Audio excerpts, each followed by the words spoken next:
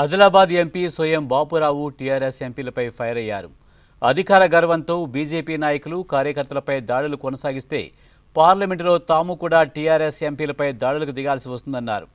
మంచిర్యాల జిల్లా చెన్నూరులోని టీఆర్ఎస్ నాయకుల దాడిలో గాయపడిన బీజేపీ నాయకులను ఆయన మంచిర్యాల జిల్లా ప్రభుత్వ ఆసుపత్రిలో పరామర్శించారు.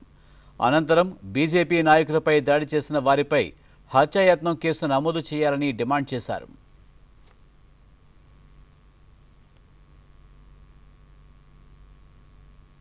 టీసీలు కౌన్సిలర్స్లు అదేవిధంగా మేయరు చైర్మన్ భర్త ఆ విధంగా అందరూ కలిసి మరి భారతీయ జనతా పార్టీ జనరల్ సెక్రటరీని మన టౌన్ ప్రెసిడెంట్ను అదే రకంగా ఇంకా భారతీయ జనతా పార్టీ కార్యకర్తలను కొట్టడం అనేది ఇది మంచి పద్ధతి కాదు.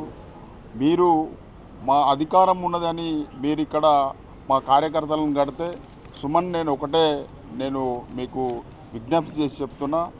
ఒకవేళ మీరు ఈ విధంగానే మా కార్యకర్తల మీద దాడులు చేస్తామంటే రేపు రా రేపు జరగబోయే పార్లమెంట్ సమావేశాల్లో మరి మేము కూడా మీ ఎమ్మెల్యే ఎంపీల మీద మేము కూడా అక్కడ మా సంఖ్య బలం ఉన్నది మా ప్రభుత్వం ఉన్నది కాబట్టి మేము కూడా చే చే- చేసే పరిస్థితి వస్తుంది కాబట్టి అలాంటి పరిస్థితి తేవద్దు అని కూడా నేను టీఆర్ఎస్ పార్టీ నాయకులను విజ్ఞప్తి చేయడం జరుగుతుంది. ఇది ప్రజాస్వామ్యం. మీరు అధికారంలో ఉన్నారు దాన్ని ప్రతిపక్షంగా మేము ఇక్కడ ఉన్నాం కాబట్టి తప్పనిసరిగా మీరు ఏదైతే ప్రజలకు అన్యాయం జరిగినప్పుడు దాన్ని మేము తప్పనిసరిగా నిలదీస్తాం.